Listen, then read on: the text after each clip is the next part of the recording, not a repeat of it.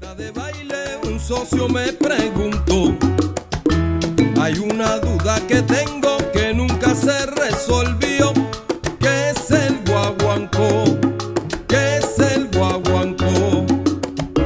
No te preocupes mi amigo, fue mi contestación. El truco para distinguirlo